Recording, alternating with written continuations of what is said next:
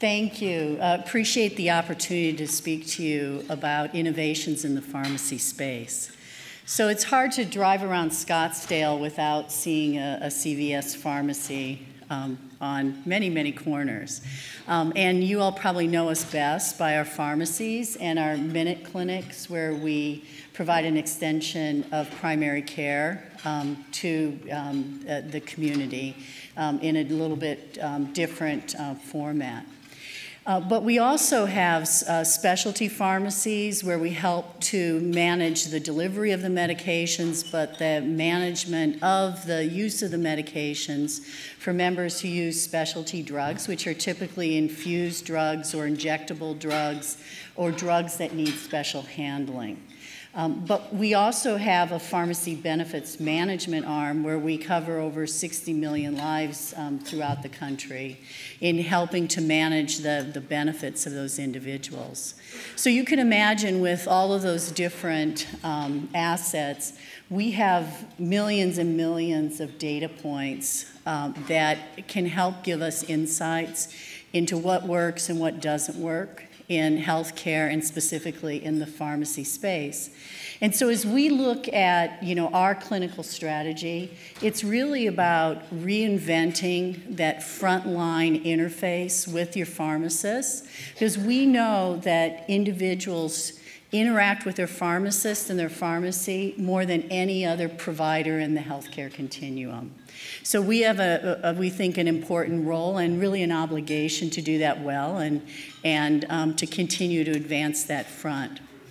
We have a research institute that takes these millions of data points and gets, provides insights into um, where the problems are and where the opportunities are, but then also on the back end, as we try different things, what actually works. So we take those insights and we leverage technology through all of the different touch points that we might have with a patient to try to optimize the coordination of a care around pharmacy and how drugs are delivered and used by a member. And we think by doing that, we can improve the counseling and support that you receive around drugs um, for the member.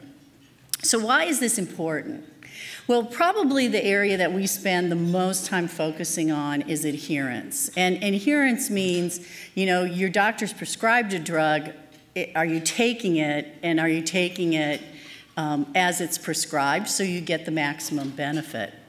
So when you, you look at this data, which is data that we produce in conjunction with um, our relationship with Harvard, um, you find that the investment in drugs, which is illustrated in the green here, which is money you're spending, saves money on the medical spending and then also productivity of individuals measured by, um, by absenteeism and disability. So there's a tremendous return on investment for ensuring that people are adherent to their chronic medications. So, as we've taken these insights, what we've done is created a predictive uh, adherence index. And what that does is to really look at the different trajectories, if you will, of why a, a patient or how a patient becomes non adherent to their medications. So, the, the top line, the, the white, um, which is mark number one, it shows you where we want people to be, always adherent to their medications. But the reality is, there's a lot of different ways that, that people um, are, are fall into non-adherence. So if you look at the pink line, um, which is number six, many people drop off after their first fill. They fill a drug and they never come back for their second refill. Um, there's a lot of different versions in between. What we do with this predictive analytics tool is to identify where people fit on this trajectory, which helps us to know when we should outreach to those members, what the nature of the outreach should be, and what the duration of the outreach should be. And so we have this mapped really for every one of these curves. So then we've actually taken that a step further. So the left hand circle actually represents everybody that's not adherent. But we know that there's a population of folks that we call vulnerable patients, and these are the patients that are likely to have a, a doubling in their medical expenses in the next year. And when you take those people and map them using pharmacy claims and other um, uh, um, information that we have into a predictive analytics tool focused on vulnerable patients, we call it the Vulnerable Patient Index, you can actually identify what kind of major bucket they're going to fall into in terms of the problems that they're likely to have around their medications. And that could be an adherence issue, it could be a safety issue around the dosing, too high, too low of their drug, or interaction of drugs for people that have very complex regimens. Or it could just be the complex nature of their condition. And, you know, we see people 12, 20, you know, and more drugs that they're taking all at the same time. And understanding how those all work and work together can be very difficult for patients to know.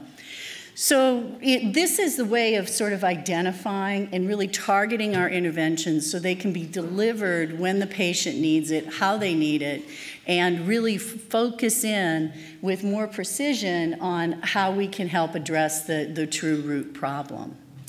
So it's not enough then to identify, but we also have to intervene. And we have lots of um, interventions in place. This slide is really meant to illustrate some of the things that we're working on in terms of piloting. So if you think about that patient with um, multiple medications, um, how does an elderly patient try to figure out, you know, opening 12 different bottles um, to get their medications for their morning? Which ones do I take in the afternoon? What might I need in the evening? We can package all those so they don't have to think about that. Here's my morning pills, here's my afternoon pills, here's my evening pills.